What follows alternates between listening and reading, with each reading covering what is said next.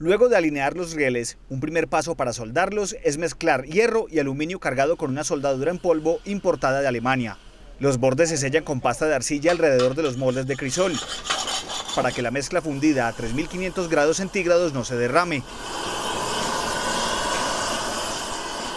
La ignición se hace con una bengala y la magia química ocurre.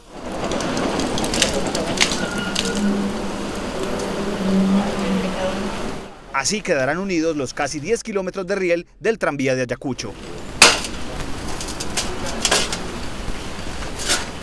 No es usual en Colombia utilizar este tipo de procedimientos constructivos, pero que dejan una mayor seguridad y unos mejores acabados. En promedio se soldarán 120 metros de riel por semana en el tranvía. La obra ya está construida en un 70% en su plataforma.